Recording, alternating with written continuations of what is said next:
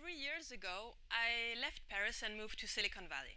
It's a place where you're told to be unreasonable. You're taught to be foolish. So I did something foolish. I decided to solve a problem that has plagued humanity for 2,000 years information overload. My idea was simple.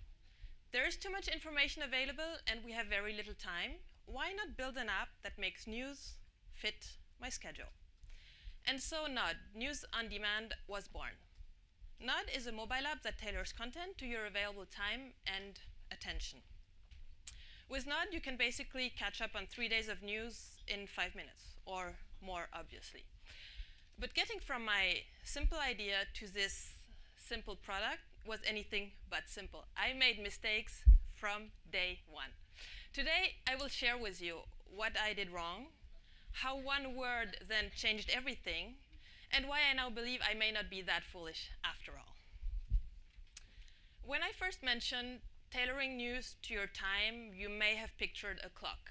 That's what I did. My initial prototypes all asked the user to move a dial or set a timer, and users were not really impressed. They didn't like it, they didn't hate it, the worst.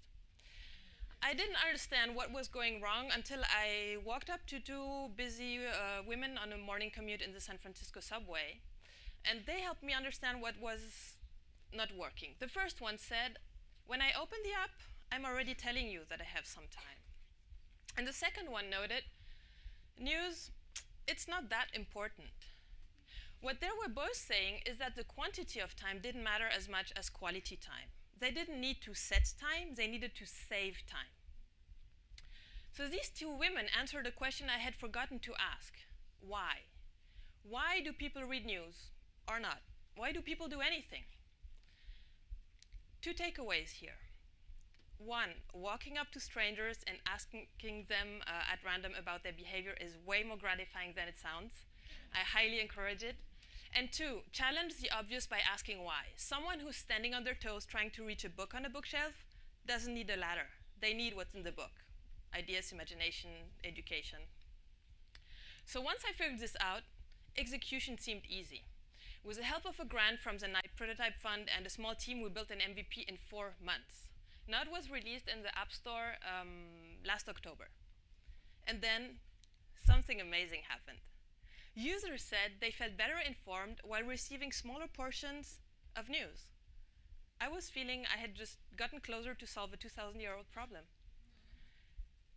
And so we want to extend the experiment, give less news to more people. Uh, we currently work on launching Nod in French, and for specific uh, interests like industry-related news or event-related news like the Oscars or the Cannes Film Festival. I know there's opportunity. Three out of four smartphone users get news on their device. Seven out of eight app sessions last less than 10 minutes. That means that in the US alone, 125 million people would need a time-efficient news experience on mobile. But as a journalist, I feel it's also my duty to, to bridge this attention gap. We fail the next generation of citizens if we don't work as hard to get information to them as we work on reporting on it.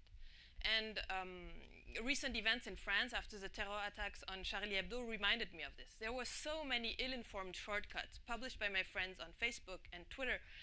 While all their questions and issues were covered at length um, in a diverse and balanced manner in traditional media. But no one was paying attention to this. I think, though, that we should not lament the little attention news gets. We need to work on increasing quality time with news. And if you want to help me do this, come find me. Thank you.